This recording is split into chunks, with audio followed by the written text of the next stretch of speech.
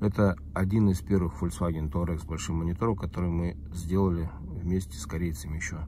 Благодарный клиент периодически к нам заезжает, устанавливает различные новые фишки.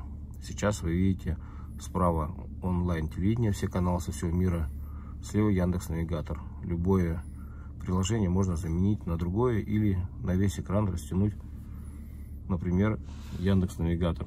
Привет, Алиса!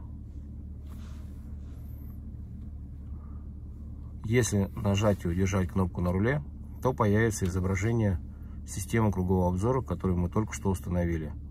Это ракурс спереди и сверху. Сейчас справа при включении поворотника он появляется или слева.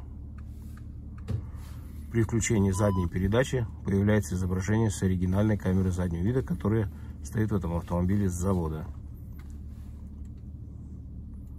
Все штатное остается без изменения ограничений, на гарантии не влияет.